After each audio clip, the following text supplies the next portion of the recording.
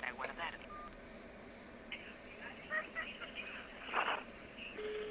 Para repetir este mensaje, el mensaje ha sido borrado. Fin de los mensajes. Para escuchar.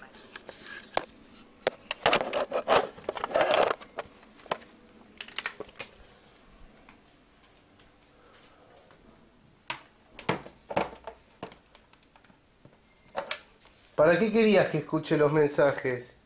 ¿Qué? ¿Para qué querías que escuche los mensajes? Y para ver si son necesarios. ¿Qué? ¿Querés algo para que me interese a mí? No, son burlas. ¿Cómo? Son burlas. No te oigo. No, son burlas, burlas.